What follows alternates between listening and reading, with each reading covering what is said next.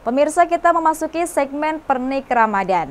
Minuman segar es cincau cukup populer di mata masyarakat termasuk di Banyumas.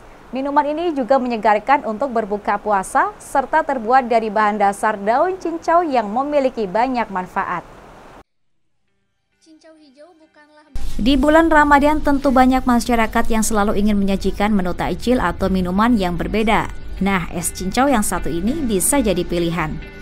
Terbuat dari bahan-bahan yang mudah ditemukan seperti daun cincau, gula merah atau gula pasir, sirup, santan kelapa, dan susu tergantung selera. Es cincau ini sudah ada sejak lama dan masih banyak digemari hingga saat ini. Minuman satu ini sangat cocok dinikmati untuk berbuka puasa. Selain segar, cincau juga memiliki banyak manfaat untuk kesehatan. Salah satunya yaitu meredakan radang tenggorokan dan melancarkan sistem pencernaan. Untuk membuat cincau ini, bahan yang diperlukan juga mudah ditemukan di pasar maupun toko.